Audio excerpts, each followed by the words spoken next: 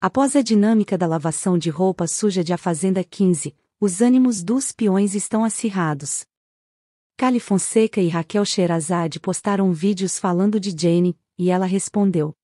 Olá, meu povo, acabei de levantar, tô ainda descabelada aqui, mas ó, não sou baú pra ficar guardando nada. Seguinte, teve embaixo com a Sherazade, que ela tá se achando a rainha, né? Tipo assim, ela sempre se achou, agora ela tá se achando a maioral, a presidenta. Porque é, chegou lá, tipo, botando banca. Eu fui todo humilde conversar no debate com ela.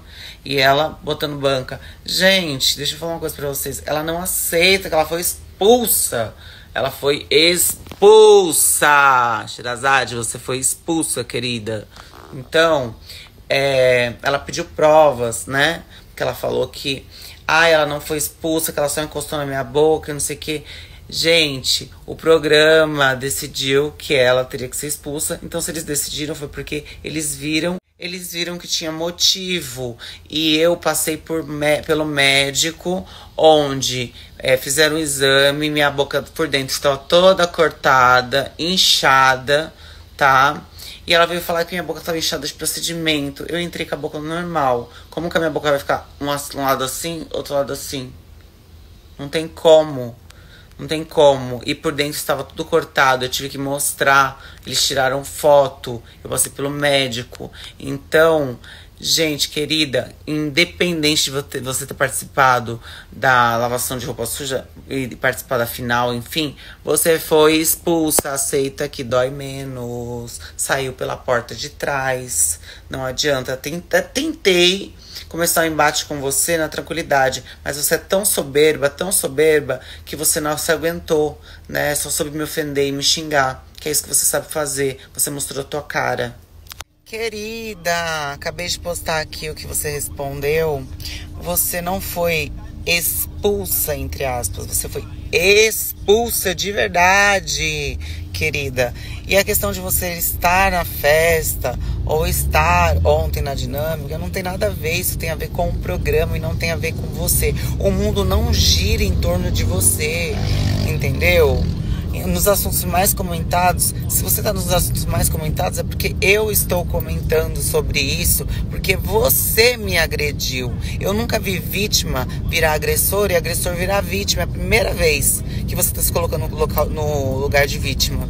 Se te menosprezando, ninguém está te menosprezando, não. Você foi expulsa, você saiu pela porta de trás. Querida, reage, bota um cropped e esquece, entendeu? Aceita que dói menos. Quem pode, pode, quem não pode, se sacode. Beijo.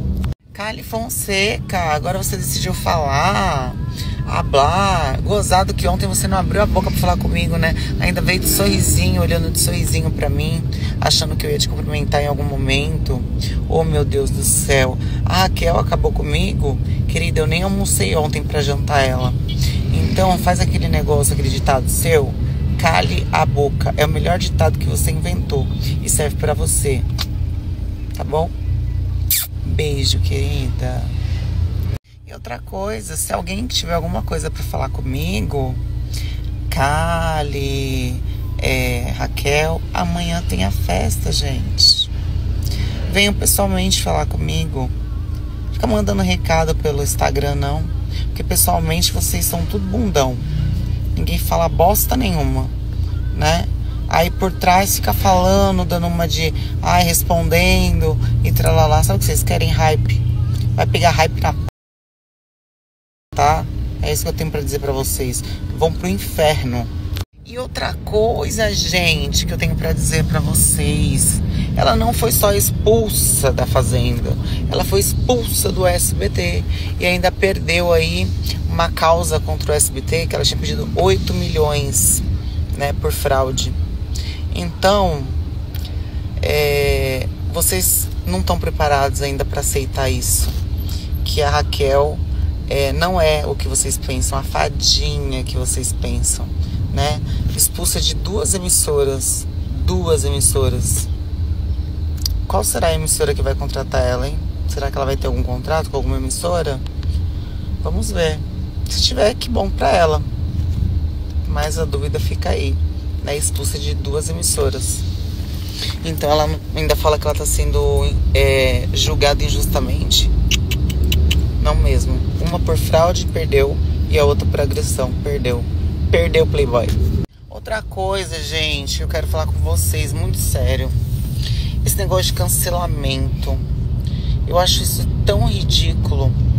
É... Tem gente que acha que são juízes da internet. Lógico que a gente depende do público. Gostamos do nosso, do, do nosso público. Amamos os nossos fandoms. É... Mas as pessoas que não gostam da gente ficam falando que a gente tá cancelado. Gente, deixa eu falar uma coisa para vocês. O único que pode cancelar qualquer um de nós, ele mora lá em cima, é Deus, mas ninguém. Esse negócio de cancelamento não existe. Vocês estão fazendo pessoas se matarem por conta disso. Vocês estão fazendo pessoas perderem a vida. Olha o amendoim aí, que é uma prova viva. Entendeu? Para com isso, gente, pelo amor de Deus. Não sei de onde que saiu essa bosta de cancelamento agora. Essa, essa, essa é, modinha. Não tem essa de cancelamento, não. Cancelado não existe. Obrigado por assistir até aqui. Não se esqueça de deixar seu like, se inscrever no canal e ativar o sininho para receber todas as notificações.